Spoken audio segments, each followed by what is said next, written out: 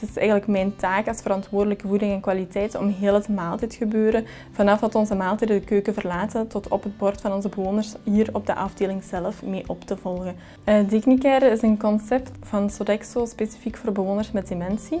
Wat we hier in het woonzorgcentrum ook hebben opgestart naar maaltijdzorg toe, omdat we eigenlijk zien dat er wel een specifieke aanpak nodig is. Zo zien we bijvoorbeeld naar presentatie, dat er specifieke vereisten zijn, maar ook naar omgeving toe. Dat we merken van oké, bewoners moeten zich kunnen oriënteren in tijd en ruimte. Waardoor we bijvoorbeeld altijd willen zorgen dat er een klok aanwezig is in de ruimte, dat er ook een kalender aanwezig is, dat zij weten welke dag het is. Ik ben hoofdzakelijk verantwoordelijk voor alle maaltijden die hier de deur uitgaan. 40 jaar zit ik in horeca privé en de laatste 10, 15 jaar ben ik de chef geweest in 1 en 2 sterrestaurants. Nu, het is wel zo dat ik dus de, hetgeen wat ik geleerd heb in de privésector, dat ik dus graag hier ook in de grootkeuken wil overbrengen. Dan bedoel ik dus mee, we gebruiken ook uitje, een shallotje, we gebruiken spekjes bij de boontjes. Wij koken voor mensen met dementie. Dat wil zeggen dat we met texturen werken, zowel gemalen als gemixt vlees. Ook de smaakpupillen van de mensen, de reuken gaan, achteruit. Vandaar ook dat we met Spice Your Mind werken. Bijvoorbeeld, ik noem maar ook iets, iets van anijs wat we in de wortelsoep gebruiken, basiliek wat we in een uh, aardappelsoep gebruiken en dergelijke.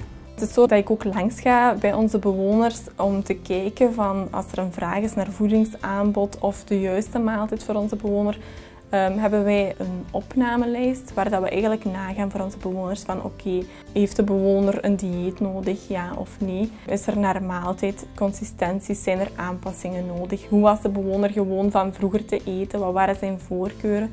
Dat we eigenlijk vanuit de keuken zelf ook naar onze bewoner gaan um, ja, en kunnen voorstellen doen vanuit mijn expertise als diëtiste ook kan kijken van oké, wat is het beste. Fingerfood is eigenlijk voor mensen die dus eigenlijk uh, niet meer zelfstandig kunnen eten met vork of mes of die normaal gesproken met zo'n verpleegster gevoed wordt.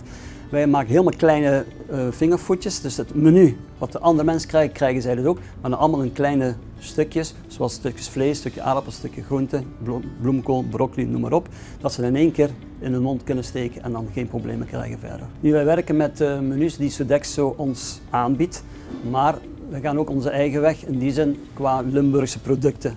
We krijgen veel reacties ook van de bewoners die soms als een briefje schrijven van uh, beste kok, wilt je alsjeblieft nog eens een keer die Limburgse stoofsel voor ons maken of die pannenkoekjes met die Limburgse appel en stroop, want dit is altijd geweldig. Een andere taak binnen het woonzorgcentrum is het ondersteuning van ons zorgpersoneel, omdat we naar maaltijden toe uh, toch wel specifieke dingen vragen voor ons personeel um, naar aanpak.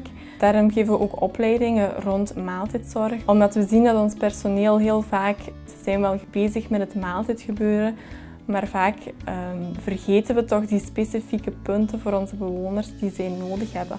Ik heb zelf mijn ervaringen die ik hier heb opgedaan in die vier jaar al heel wat kunnen doorgeven aan Sodexo.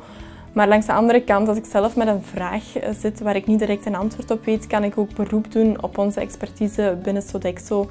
Dus dat is wel een leuke wisselwerking waarvan ik hoop dat we nog lang zo op die manier kunnen verder werken. Ik doe ook tweemaal koken in de dienstencentrums. Dat is dus uh, eigenlijk voor de mensen koken, waarbij ze zelf soms de bootjes mee helpen schoonmaken, de aardappeltjes schillen, een beetje babbelen. En dat zouden we eigenlijk hier op de afdeling ook willen gaan doen. Als we dat nog kunnen verwezenlijken, dat zou eigenlijk de kerst op de taart zijn. Die smile wat je dan gaat zien, dat je zegt van kijk, ze zijn content, ik ben content. That's it.